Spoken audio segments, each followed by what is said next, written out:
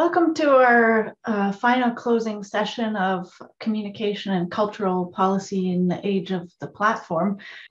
Thank you so much for, for being here. Um, I'm going to uh, just introduce the two chairs of this session. Uh, Tamara Shepherd um, is an associate professor at the Department of Communication, Media and Film at the University of Calgary. Um, she studies the feminist political economy of digital culture, looking at policy, labor, and literacy in social media, mobile technologies, and digital games. Uh, she's also on the editorial board of Social Media and Society, and she's been published in many prestigious um, journal publications. Dana Cramer is a Master's of Arts candidate in the Department of Communication, Media, and Film at the University of Calgary. And her master's work explores the political economy of internet protocols. And I think we heard some of that presented earlier in the conference, and it was truly uh, fascinating work. Um, I'll pass the table over to the two of you um, to kind of uh, tell us what this session is all about.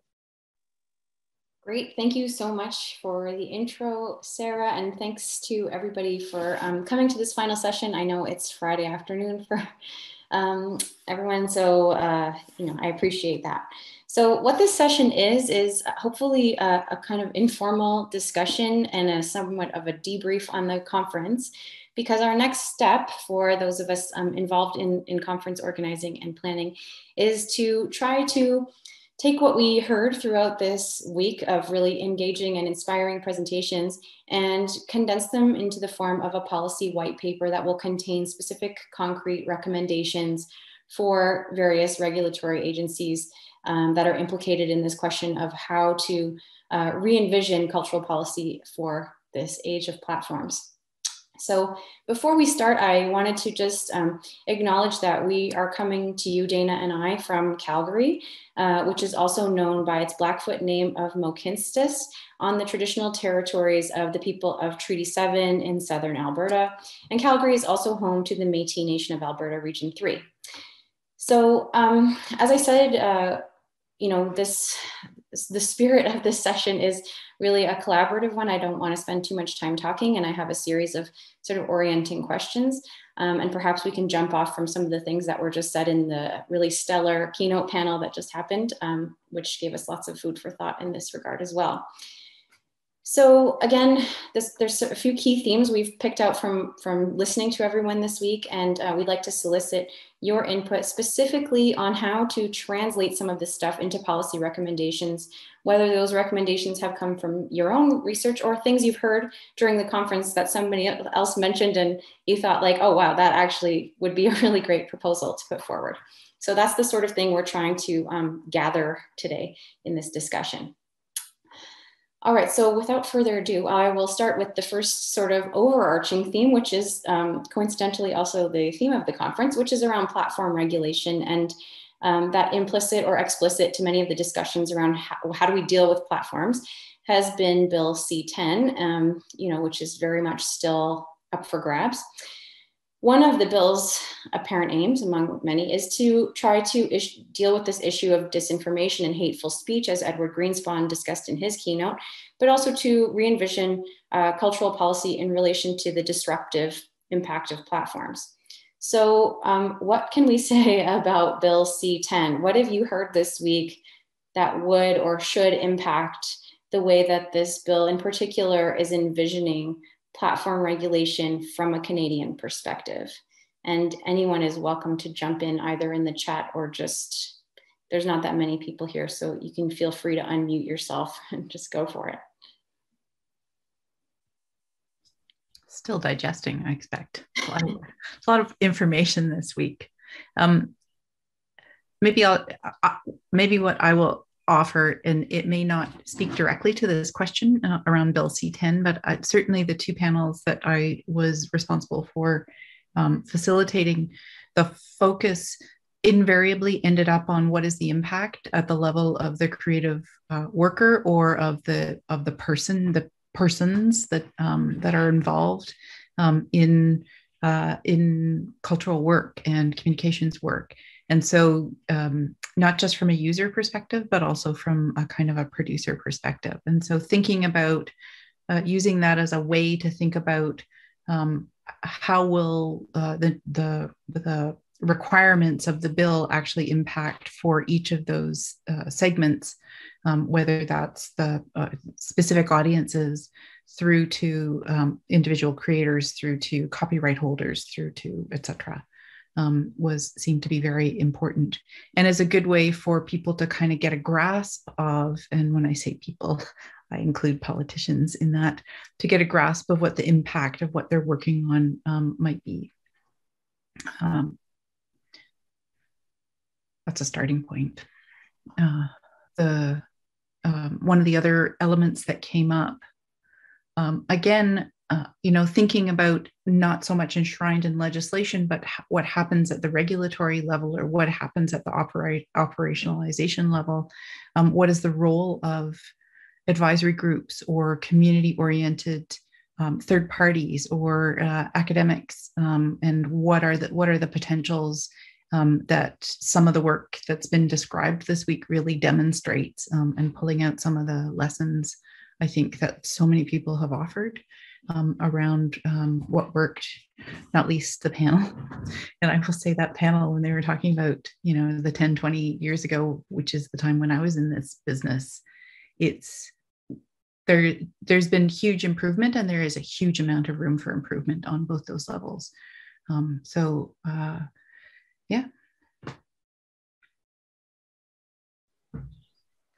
Thank you very much for your comments, Dr. Luca. As a follow-up, uh, may I ask, um, with regards to Bill C-10 and um, this labor that um, you're identifying, um, are there recommendations based off of the panels you saw this week in both chairing and as well in attending of how um, that labor labor can be recognized in our by our policymakers in uh, the Act um, or subsequent funding models. What do you mean by recognized? Um, I, I suppose um, uh, ways of um, encouraging um, further participation and rec recognizing who is participating as well, which groups are coming forward. In our last, in the keynote uh, panel, for example, we saw high levels of participation by traditionally marginalized groups um, who have consistently been left out of conversation. And um, so um, in uh, talks um, of recognition of how can we ensure that um, those people those um, individuals whose labor is being provided, of how that can help transform how we have conversations about these policymaking um, processes for the communications and cultural industries. Yeah, I think it's really difficult difficult to enshrine it in legislation. I think where it can, um, although those, some principles can be established in legislation, um, what uh, where I think it really comes to rest is at the regulatory level or at the operationalization level, right? So that means uh, it, you know recommending making recommendations around uh, compensation for expert time um, and expert time, uh, including lived experience, particularly of marginalized groups. Um, also, I think um, the, those structures like advisory tables um, or town hall consultations, again, uh, recognizing that time is labor um, and particularly the, um, the lived experience element, I think is really hard and really important um, to find a way to, um, to recognize and, and provide some gesture in that direction, recognizing also that a lived experience that is generations deep can never be properly compensated, right? Um, but but yeah, finding sort of establishing some of those pathways. Um, there's, I would say, you know, based on the experience that I've seen of uh, communities I've worked with or or colleagues that I've worked with, um, even just making sure that safe spaces are created for feedback to be provided um, and for people not to be harassed when they are providing uh, feedback is also uh, crucial. Um, uh, and um, and and providing resources for, for example, if it's a live, if it's a regulatory issue and there has to be a live presentation, then paying for experts to come, uh, and again, including experts that are coming from lived experience, if the table is not going to move around the country. Great, thank you so much, Emmy. That's those are all really yes important points. I see Marianne has a hand up, so please feel free. Uh, yes, thank you. Um, I have a question. Uh, so I'll admit right off the bat to not have read the uh, Bill C10 proposal, so um, my knowledge of it is is somewhat limited. But um, I'm curious uh, how it interacts with the existing free trade agreements that Canada has uh, signed and, and renewed in, in the last few years, and particularly if the definition of the cultural industries um, that is quite old uh, in the uh, the cultural exemption clauses or various uh, manifestations of that clause, um, and specifically the the old technology that um, that is referred to in that definition uh, does not, to my knowledge, necessarily account for platforms. So I'm just wondering, um, you know, how how do we reconcile those? Um, those areas of legislate of, of, of the law and of policy um, and to what degree are we limited in the uh, uh, structural changes that can be done um, on a policy level.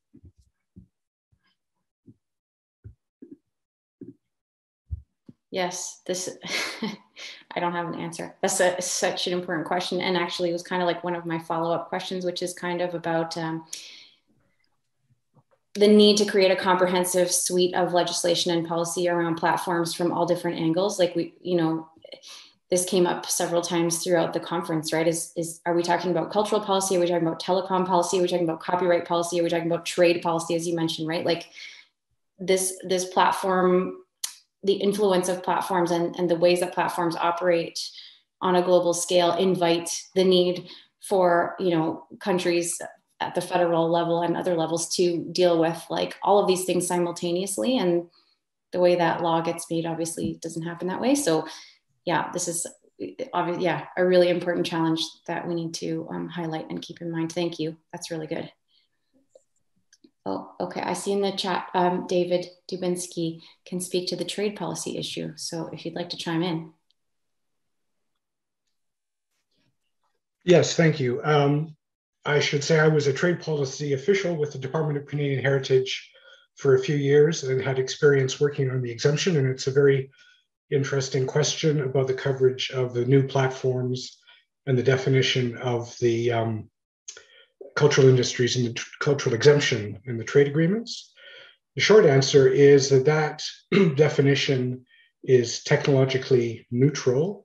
So, on the face of it, um, any way of distributing broadcasting programming through any technology is nominally, legalistically covered by the exemption.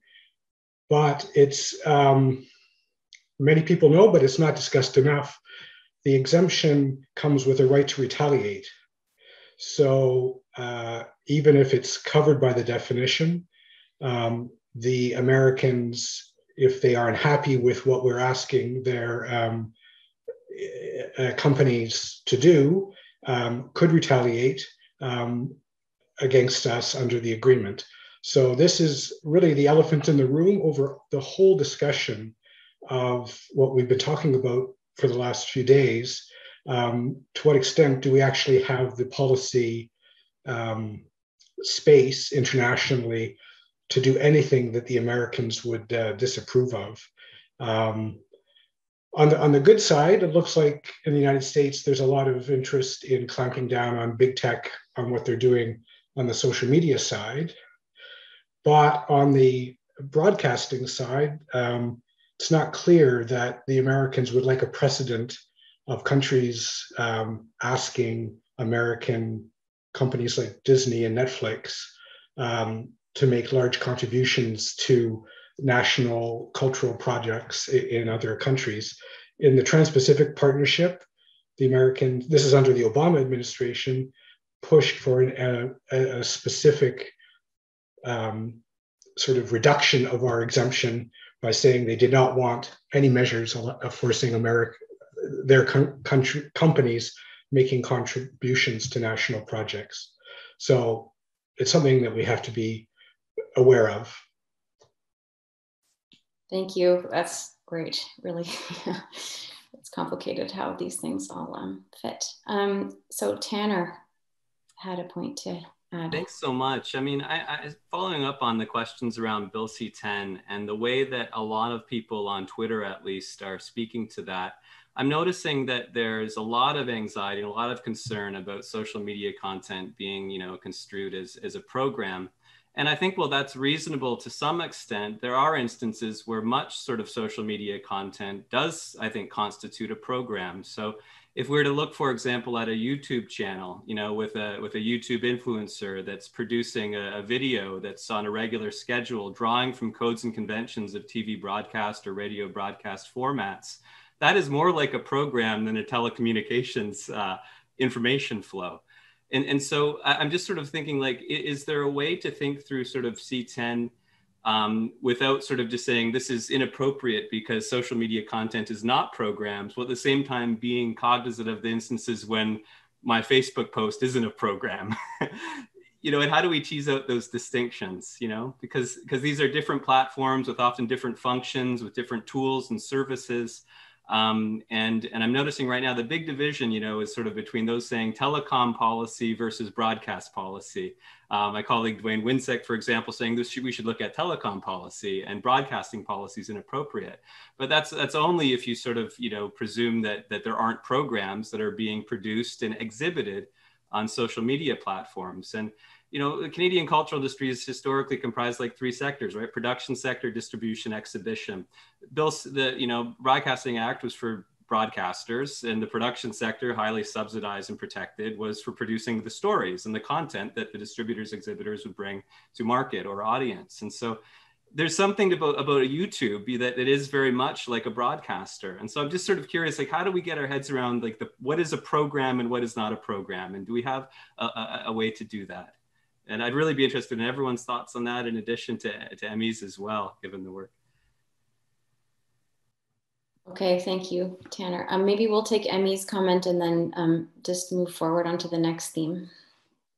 Great, thanks. Um, I just wanted to quickly follow up because and throw a kind of another piece of it in it, which is, and it, and it, you know, this was kind of discussed at some length in the music um, panel around um, uh, around retention of copyright by creators and the and the kind of the kind of really troubled relationship of creators with copyright. Um, and the i mean the way that our copyright act is functioning um, is is really shaping all of the platforms that we're operating on. And we're not we don't you know we haven't traditionally spent a lot of time and energy thinking about it as a system issue rather than um, because of the way it's constructed as a kind of a list of items that need to be compensated in particular ways or that need to be addressed in particular ways. And I think this kind of comes back to the observations that David was just making and Tanner were just making about um, uh, you know we have to we have to be looking at all the registers we also have to be looking at all the stakeholders all at the same time where um, for example one of the reasons why the cultural exemption is a bit tricky is because Canada's um, media industry is so dependent on service to the US, right? Like there's a really big, big economic impact of saying, no, we're not going to take on board um, American values, et cetera, when we're delivering them, right? At, at the production level, at the post production level, and, um, and, uh, and in other ways. Um, I'll leave it there. But I think, you know, plat- one of the things that's so interesting to me about thinking about platform is uh, it doesn't stand in for ecosystem, but it does provide us with a kind of a place where we can look at all of those different registers all at the same time.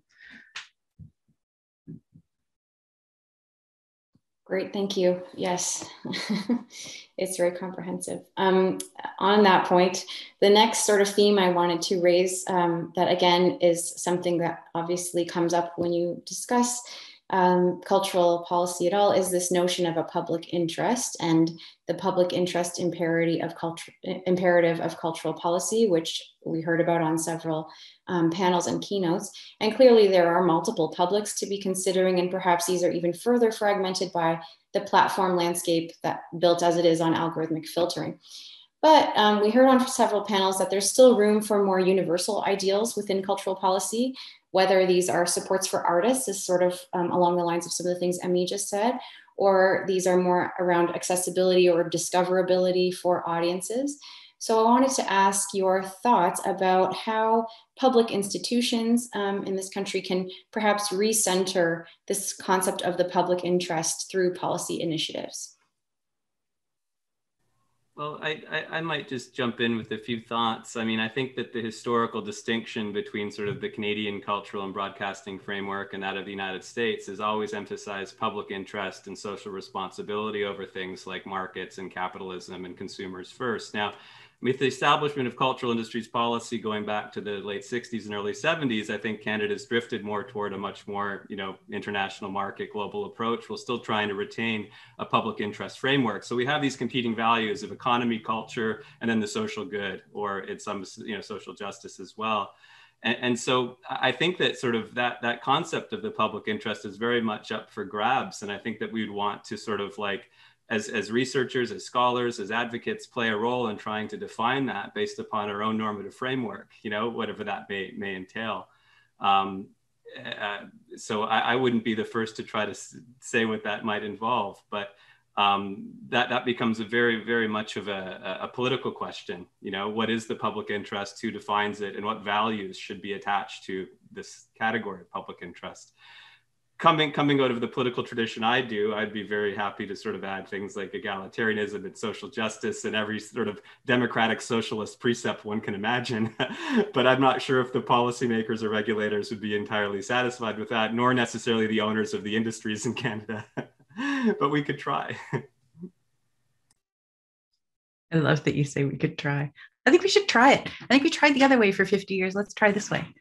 Um, the uh, have a lot to say about public interest and public good, but there are a lot of other people in you know in this group who who who also have really good things to say um, about it. So um, maybe what I'll just offer up is that, um, and it relates back to the Bill C10. Bill C10 really kind of um, asks us to think about public interest in an oblique way, and maybe thinking about being more um, more uh, specific, not specific, more committed um, to the public interest in Bill C 10 might be helpful, right? And particularly given that it's drawing on the legacy of uh, the Broadcast Act, which is very much about the public interest. Um, throughout the system, uh, and also the Telecoms Act, which is not, although you can get arguments on all the sides, right? Um, so, um, Section 7. yes um, yes and uh, so the so i think you know there's something to be said about that but also recognizing and i think this is one of the things that when we think about what does legislation do versus what does regulation do versus what does operationalization do is is kind of like how do you embed or enshrine in a piece of legislation that it needs to think about all of the other factors in other pieces of legislation? Um, and then who has regulatory uh, control over that kind of work? And then on top of that, who is being left out? And, and I mean that in, in two ways. One is um, that there's a whole wide swath of commercial approaches that are left out because they're in, they're meant to kind of work with the market kind of thing. And then there's a whole broad uh, uh, grouping of lots of different um, uh, uh, uh, uh pe- people and organizations and modes of operating that get left out on the kind of on the flip side. Um, which is that there are people who are, as Dana was saying, traditionally marginalized or who are kind of operating on the fringes of whatever the mainstream areas are and how do we recenter them and use something like outlier theory to really recenter those concerns um, from the point of view of for example accessibility design right? Who are we talking about including here that in such a way that everybody else remains included uh, but what we're doing is we're we're uh, fixing issues of the past as well as creating a pathway to the future right? Not just apologizing um, but also putting some resources in hand, which I think is what, for example, the Indigenous Screen Office or the Black Screen Office are really good indicators of. Uh, Dr. Gasoy, you had your physical hand up. My physical hand went up, yeah. Um, uh, yeah, I, I, maybe just to, to speak about, um, I, I, really appreciate what uh, uh, Emmy and, and some of the other folks around have been saying about, you know, this, this, this difference between, or this, this constructed difference, a seeming difference, right, between um, kind of policy, legislation, and then opera, opera, the thing with operation. Um, one of the things that I think I, I heard a bit um, in uh, that I spoke about and, and, and, some of the stuff that that uh, I've been researching and and also hearing in, in some of the panels um, is to try to think about the stitching together of particularly at the sort of institutional um, level. Um, there was some discussion towards the end uh, of, uh, uh, of, of the the um, uh, Emmy, your panel on on uh, sort of arts policy, um, between the kind of the stitching together of of, of um, uh, the Canada Council and and the Media Fund, for instance, um, in in shared projects and shared. Um, and I, want to try to take this a little bit wider to say that I think one of the things that we get concerned about here um, obviously the differences between telecom policy and broadcast policy are significant and they're important. Um, and, and teasing those things apart has a lot of value. Um, so does synthesizing them. And I think we tend to forget the other side of that equation, which is that when it gets down to the level of the creator, um, of, of uh, how it is that we can access these, uh, these um, uh, structures, if you will, that are kind of built up by these policies. Like, policy builds things, right? It, it makes institutions and it makes texts and funding documents and, and, and uh, regulations and all kinds of things like that.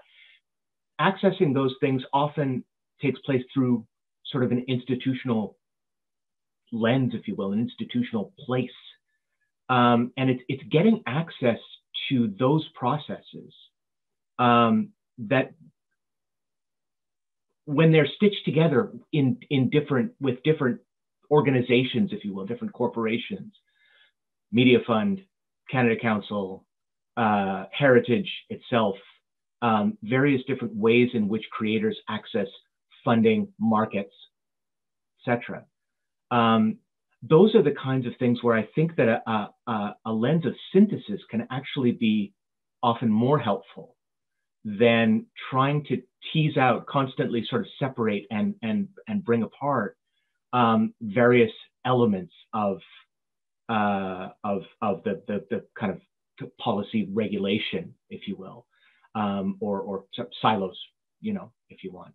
Um, sorry, that got a bit rambly, but um, it's it's to me it's it's there's an there's an ecosystem issue here that I think sometimes we can miss um, because we want to react to the current legislative, you know, I mean, the first question coming up, you know, okay, well, let's talk about C10. For sure, of course, we have to talk about C10. It's important, it's, it's present, it's there. Um, but C10 comes out of a process that is flawed. Um, and the flawed process is because there are voices that are missing and there are institutions that are not being involved um, in in these kinds of questions. Um, so uh, you know, I wonder if we can do what we can to address those kinds of things, and then do everything that Tanner said about you know social democracy. anyway, there you go. That's my those are my thoughts. Well, and the other thing that about these policy silos that you mentioned, and you're talking about them with respect to um, creators and you know are they able to access you know support or whatever it also has an impact on advocacy groups as we heard throughout the conference as well in terms of their resources are already very limited and they now have to deal with like multiple consultations opportunities to intervene going on at the same time in you know related but distinct um, processes at different levels of government um, or different agencies or departments. So, you know, there's also this kind of question of like the multiplication of these different sort of like policy domains um, which seem, I mean, is again with the, the new proposal of having a data commissioner, it's like we already have an Office of the Privacy Commissioner. So, okay, we're going to have like another space in which advocates who, who are working with like bare minimum um, resources now yeah. have to deal with that. And like that has its own processes, procedures, timelines, etc. So certainly like there's an impact on the, the advocacy ecosystem as well, which I think is key. Sarah. And each one of them, and each one of them has their own. Pardon me, uh, Tamara. That's you're absolutely right. Each one of them also has their own language, right? Yes. And so, like, how the heck, you know, are are the theater people that I tend to think about? Um, many of whom are are constantly moving back and forth between the culture industry and uh, and and the stage or nonprofit, you know, et cetera. Um, supposed to to constantly sort of learn these new languages, right? About how am I going to interact with the CMF? How am I going to interact with with uh, with Telefilm? How am I going to interact with the council and then with um, uh, broadcast regulators and and constant, yeah, so multiplication of, of languages and and um, needs for for more access. Yeah, thank yeah. you. Yeah, totally. Um, okay, Sarah, and then David.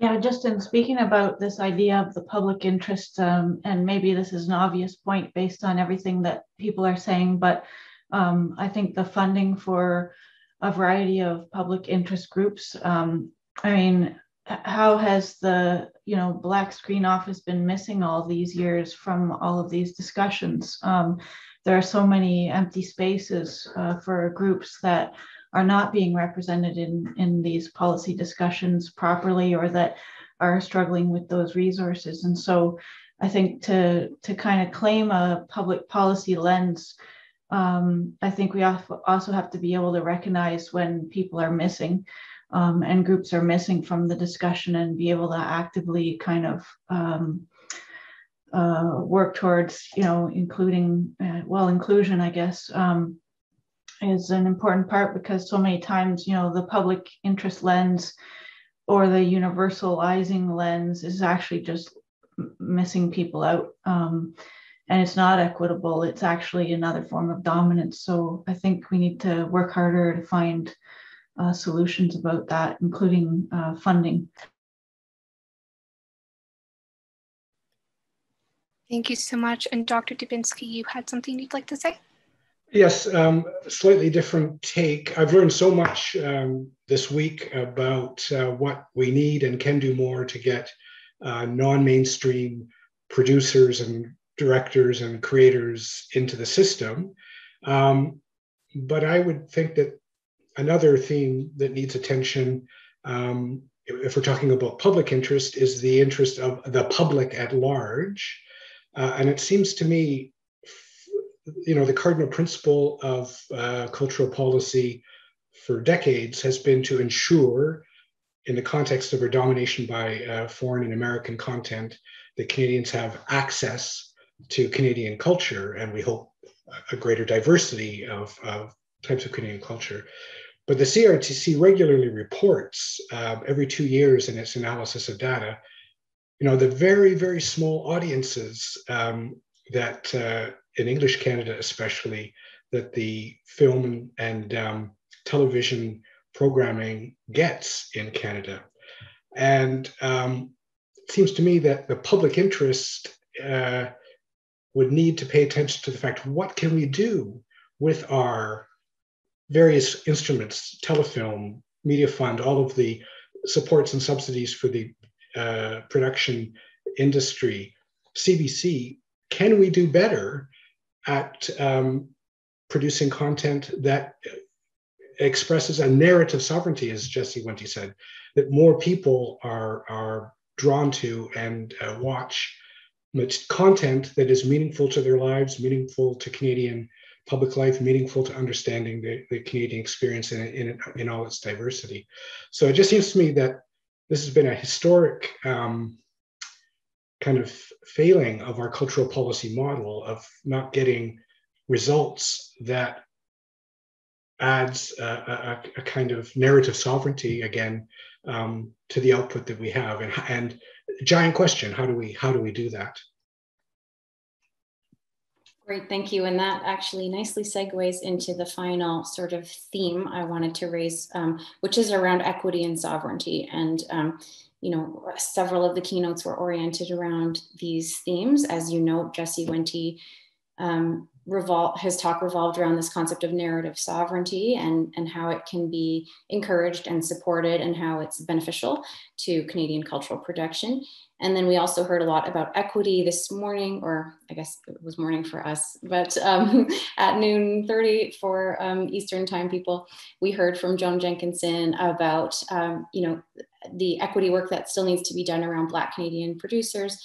And we heard from Sharon McGowan and Susan Brinton as well about the continued um, gender divides in um, media production. So how then do we connect some of these discussions around um, you know the ways that that policy legislation um, need to perhaps be reformed to this explicit need for um, greater equity um, sovereignty in the case of indigenous nations um, in this this sphere when we have platforms this is again you know part of this US cultural imperialism piece uh, where we have platforms coming in from elsewhere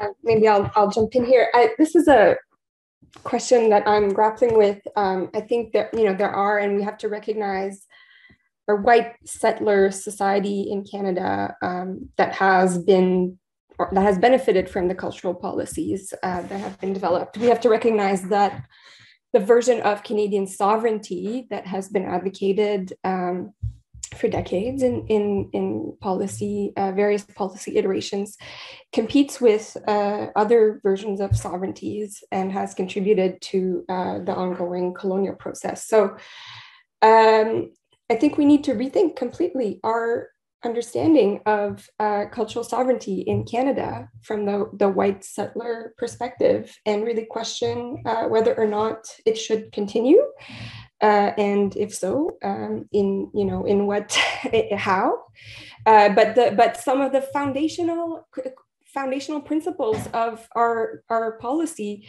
I think, has to be uh, rethought, um, and we have, just have to ask ourselves like, is it even pertinent to still produce Canadian content? you know, uh, under, with the understanding that Canadian content has a very real history of uh, oppression of uh, various uh, groups within the country.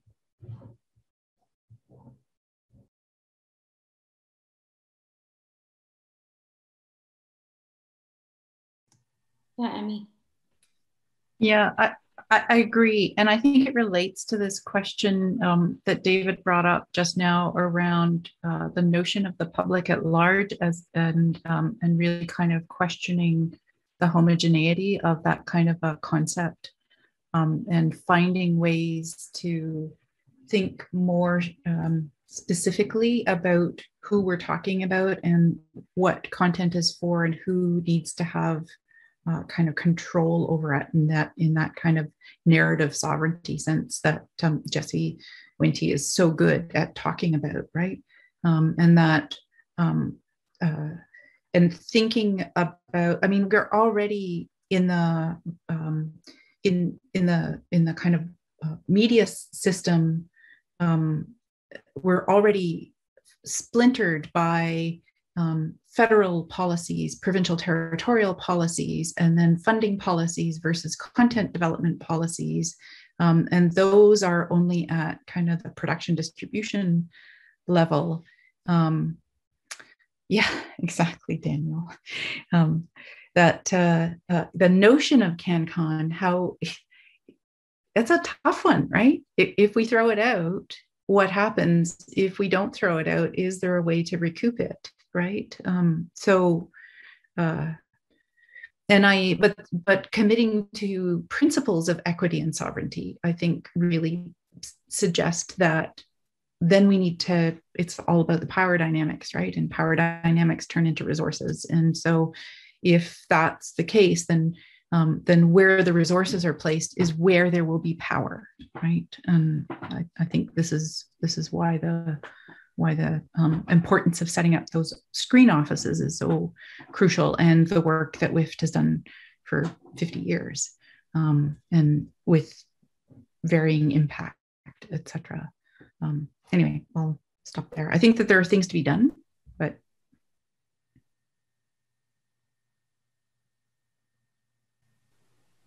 I would uh, add, I think that's a really thoughtful point, Marianne, especially, I mean, recognizing the implication of Canadian cultural sovereignty as a rhetoric, as a discourse um, in the history of white settler colonialism and, and capitalism even today, while at the same time saying like within the actual research, research or advocacy community, what role sort of can folks play in, in redefining the terms of cultural sovereignty and then articulating within that a space for sort of the EDID sort of positions that I think we we want to support. So is it sort of like throwing out the cultural sovereignty concept because of its historical implication within forms of exploitation and oppression, or trying to reserve it and re-articulate to that concept values and principles that that we in the present might might see as see as better um, or, or different. Um, and I still even look at like the unamended Broadcasting Act of 91. I mean, if you look at US broadcasting policy, they, they don't say things like, like it's sort of like, I think there's a long way to go just to even realize those principles and clauses like, like that, for example, right? Um, when we're speaking about EDID and such too, in terms of just representation. Um, the other sort of point I wanted to make about EDI is sort of thinking about the whole sort of American piece and the role of Hollywood and the MPA as a lobby group and so on. I've been reading a lot, sort of um, the Hollywood Diversity Report that's released each year by researchers out at, um, I think it's is it Annenberg, um, and you know, there, it's it's you know UCLA for example, and and actually I'll just I'll just type it sort of in, in the box here. Um, because their strategy is basically like not a cultural policy approach. They're basically making a market or a business case for um, diverse, equitable representation on screen and off screen. So there's a different different approaches, Canadian and American, even when it comes to thinking about what are the conditions of possibility for greater access, um, greater sort of on-screen representation, behind-screen representation. And the US kind of scholars are making like a purely business case, which is very different than cultural policy communities in Canada and elsewhere do. So so eh, they, they basically say that you know hollywood's global the world's a diverse place. If we produce more sort of films and tv products that represent the diversity of the world then you know we're going to sell more products. And it's a purely economic rationalization set apart from public interest ideals and social justice ideals that i think we share. So i just wanted to put that out there as well as another complication because i don't know how to think through that argument right now. Um, from a purely like cynical perspective, um, I feel like the business case is one that, in my experience anyway, doing stuff at CRTC more around telecoms, but anyway, the business case argument is often a lot more resonant with the regulators than any kind of one about social benefit or, or anything else, really. So there is perhaps maybe a cynical way uh, in which this framing might be useful to like get other values in the door, um, you know, at the in the first place. So anyway, thanks for sharing that, Tanner. So I note the time here. We have five minutes left, um, and then I just uh, you can be a free for all of anyone who'd like to uh, say anything we you think we really should be including in this in this white paper. There's a lot um, to go through, but if there's any sort of final thoughts on uh, you know things that we definitely should be including whether those are within or outside of the scope of the things i just brought up now those three themes i just discussed maybe i'll just tag on to one of the things that tanner was saying and, and, and that you just said tamara. And i think it's one of those this is you know speaks to the work that I've been trying to do with the Department of Canadian Heritage over the last couple of years around impact assessment and really building um, a very flexible and open way of thinking about impact assessment so that economic and financial measures are not the only measures, but that we're also looking at um, uh, creative and cultural as an aesthetic as the core business of um, of the of the work that gets done in the sector uh, or as a as part of the core business that gets uh, the work. And then also looking at um, social and physical elements and and um, and looking at ways in which knowledge sharing and sense making play huge roles in this in in all sides of this the whole broader industry. Um, because that really um, centers all of the participants and um, and the organizations that are involved, as well as the as well as the specific roles like creator, copyright holder, etc. Um, and um, and re- and aims to rebalance um, the priority given to economic and financial. And one of the things that I think you know is worth reflecting on is um, what are the lessons that came out of COVID that the responses and, and i know a number of people in their panels talked about this but what are the responses that really showed us how quickly we could move down another road? Thanks. Any other final words?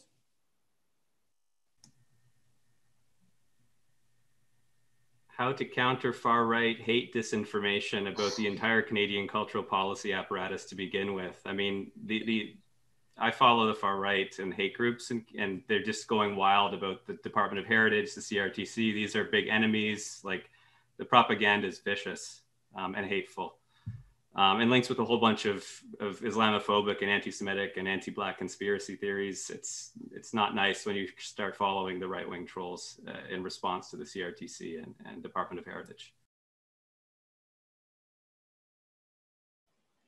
Thank you. Um, I think we have another point from a physically raised hand. That's just me. Sorry, uh, Sharon here. Um, I just wanted to mention something about the economic arguments because we've been going through that through the different right and left wing governments we've had it here in BC and in the industry. And as somebody who's tried to raise money for films uh, on subjects that the mainstream didn't really want to deal with, even if they were economically beneficial, um, the economic argument doesn't seem to work against ingrained prejudice. You know, and I have endless examples of pitching a film that, like, especially I pitched a queer film in a genre that was a proven box office success and being turned down over and over and over again, even though the economic argument was incredibly solid. The entrenched biases were just completely impenetrable and i we've seen that again and again with the case with women's films too because they tend to do films about women and by women tend to do better at the box office but that hasn't had any real weight um, so i'm just a, a word of caution there from my background Yes, that is something. Actually, it reminds me of um, in feminist political economy, Eileen Meehan's work around television. Um, you know, has been showing this since the '80s. So yes, um, totally, Sharon, to your point. All right, so now it's 1.50 and our session is officially over. Um, but I really want to thank you. I, I really enjoyed um, this whole week, in fact, was just wonderful and really great to um, go straight from a year of really difficult online teaching um, to dive into fun stuff again and have my head be uh, expanded again um, through this discussion of, of so many interesting um, developments going on and, and everyone's doing such important and amazing work that that was great. So thank you so much for contributing to this session and um, thank you Dana for helping me run it. And I will now um, turn the floor over to Sarah Bannerman for um, some final comments and thanks. Thanks, Tamara, and uh, thanks for running, uh, and Dana for running this uh, session. I just want to uh, give a few thank yous before I invite Darlene LaForme um, to help us to close the conference. Um, I want to first of all thank Darlene uh, for the opening session and the closing um, that she's doing.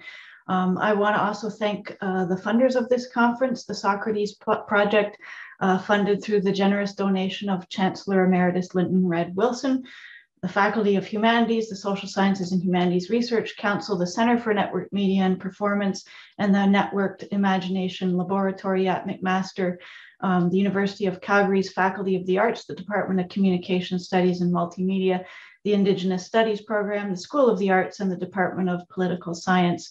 I want to thank Chancellor Santee Smith for helping us also to open the conference, um, the Dean of Humanities, um, and the Faculty of Humanities as a whole. Um, the staff who've been so helpful with this conference, Cassandra Wyman, Lorraine Bell, and Margie Lamb.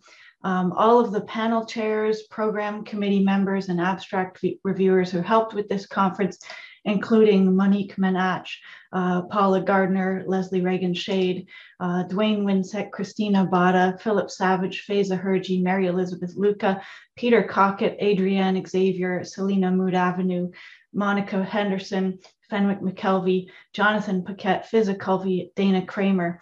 Um, I also want to thank uh, the key organizers and supporters of the conference keynote speakers and plenary panels who had such an important influence on the conference, including Chelsea Gabel, Grace Pollock, Monique Manach, Sharon McGowan, and Rina Fraticelli. Um, I also want to thank Jonathan Paquette at the University of Ottawa, who facilitated a conference uh, two years ago or uh, with a group at the University of Ottawa and who helped facilitate uh, this as a kind of an outgrowth of that conference that was held at the University of Ottawa. A number of research assistants have been very important in the conference.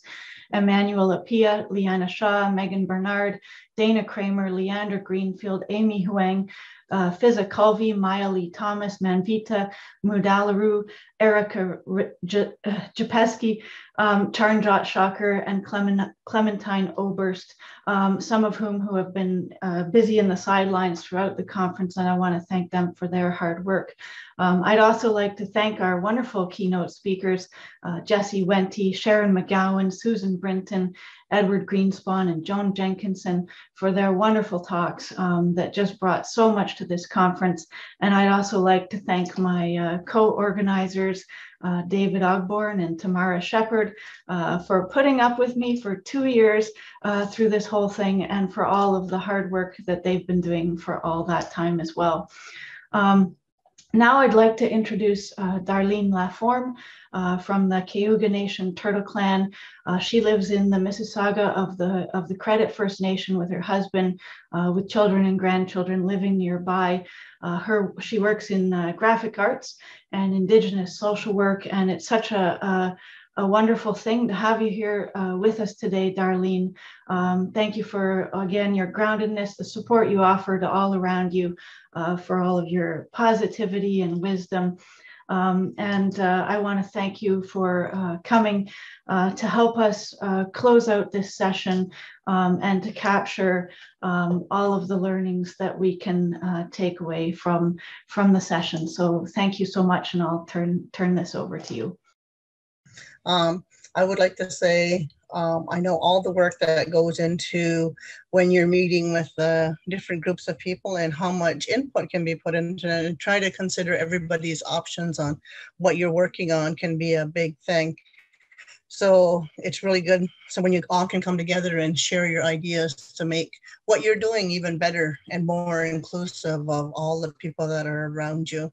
And what I want to do is I would like to um, close out. And now that you are all um, going to go back into your lives and go back into your whatever else you have to do, um, when we started, I said to lay aside all your worries, and now you can choose to pick up those worries, and maybe now you'll handle them in a different way with all the ideas that you've got, and take that with you, and be mindful of like going out and being con- conscientious of saying everything that you see that um, is provided for us as peoples, um, the the lands, the air, the heavens, the skies Everything is provided for us and it's there so that it, it can benefit us, but um, it's all interconnected. So understanding the interconnectedness of everything that you do and everything that's all there out makes for um, more sharing and stuff for yourself. But when I want to close out, I want to close out with um, what's called the traveling song. So I'll try not to um, beat too loud because I was trying, I was in my office trying to check out the sound and it was really deep. So.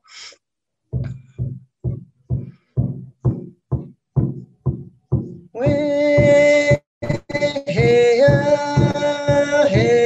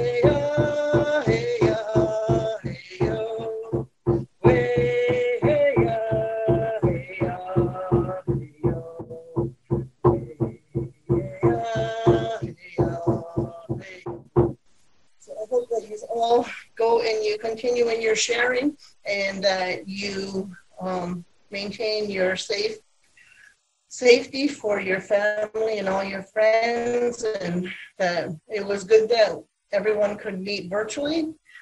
And this is an age of where we have to do it. And even it makes your work even more important because you are all into the digital age. So uh, yama for all you do and so you all have a good weekend and take care of yourselves find some time for your own self-care too all right you all have a good day Thank you so much, Darlene.